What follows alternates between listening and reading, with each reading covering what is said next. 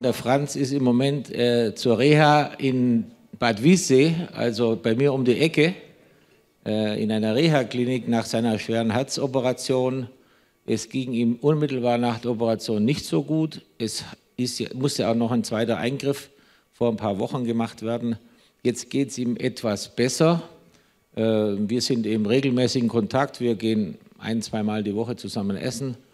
Der FC Bayern steht hundertprozentig äh, ihm zur Hilfe. Wir versuchen zu helfen, äh, wo es nur geht. Und ich würde in seinem Sinne, denn er, er hat schwer daran zu tragen, nicht nur an seiner Krankheit, sondern an dem ganzen Theater um seine Person. Ich würde irgendwann mal auch an gewisse Leute bei den Medien daran appellieren, ihn endlich mal in Ruhe zu lassen. Denn es ist eine Riesenschweinerei, was da um seine Person gemacht wird. Er hat Unglaubliches geleistet.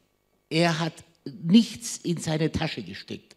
Er ist ein Mann, der sich den Arsch aufgerissen hat. Zwei, drei Jahre lang. Und, und jetzt muss irgendwann mal Ruhe sein. Das ist jetzt 15 Jahre her. Und man soll den Mann irgendwann in Frieden leben lassen.